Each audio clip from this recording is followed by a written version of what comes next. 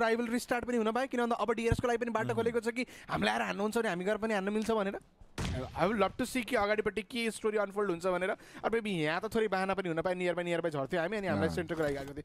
But यो fight like intentional नै हो भन्न सकिन्छ किन त रेगुलर अप्रोचमा तपाईँ कसैको ड्रप लोकेसन नजिकै मुख्यमा फर्स्ट सर्कल इन्ट्रीमा लड्नको लागि त जानु हुँदैन.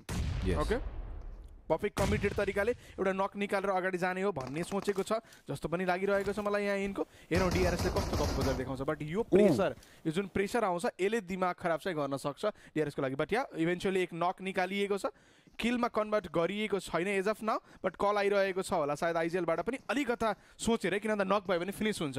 नक भयो भने फिनिस हुन्छ। एकजना प्लेयर लुज भयो भने त्यो बिगर प्रब्लम हुनेछ अदर दिन एक पोइन्ट्स भन्ने पनि सोचिरहेको होला। ओके प्लेयर कहाँ गएको छन् भन्ने। देखिएको थियो। इनको बेकरलाई पनि नक निकालेको छ। सायद अब त अब त स्टेज रेडी भएको छ।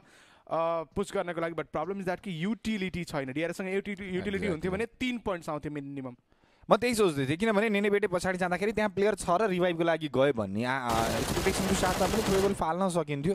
त्यो नभएको कारणले गर्दाखेरि त्यतिसम्मको फ्रिडम पाएन टिमले त्यहाँ कमिटमेन्ट देखाउनको लागि। नेनेबेटे यहाँ अहिलेको लागि रिभाइभ भइसके। फेरि पनि ब्याक द फर्म उनलाई देख्न पाइन्छ होला। भिटालीको पोजिसनको बारेमा उतातिर आइडिया छ छैन। रुल्सको एसपिएल कति घटेको छ। कभर दिनको लागि किलर वाइट यहाँ रेडी देखिएका छन्।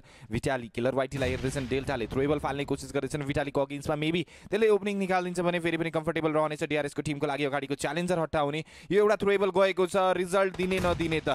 ओके भिटालीको अगेन्स्टमा खासै रिजल्ट दिने खालको तरिका त बन्न पुगेन। भिटालीको अगेन्स्टमा वान वानको लागि डेल्टा जाने कोसिस। ड्यामेज उनले पनि फेस गरेका छन्। युएमपी दुईजना प्लेयरसँग रहेको छ। प्री फायर सेट गर्ने कोसिस डेल्टाको तर्फबाट बन्दैछ। यतिखेर नक फेस गरे उनलाई फर स्योर फिनिस गर्न सकिन्छ। डर त्यही एउटा कुराको रहेको थियो भने नेरे बेटे gonna be taken down squads gonna be taken down as well Vitali last one player डिआरएसको team आज डराएको छैन। आज उनीहरूले डाउन निकाल्दैछन्। एकैजना प्लेयरलाई त्यहाँ फिनिस गरिदिउँ भन्ने कल आएको पनि हुन पाए तर पछाडिबाट ग्यान्टेको सपोर्ट आइसकेको छ। इन्कोको टिमलाई सम हाउ निकाल्नु पर्यो। यो सिचुएसनबाट क्याजुअलिटी फेस गर्दैन टिमले भने सही रहने थियो बट एकैजना प्लेयर अलिकति धारिलो बन्न सक्छन्। ड्यामेज त्यसले दिएको छ। पछाडिबाट किलर पनि आइसके। आई डोन्ट थिङ्क सो भिटालीलाई अब केही कुरा गर्न सहज छ भनेर एन्ड ग्यान्टे विथ द्याट पर्फेक्ट नेड कहाँ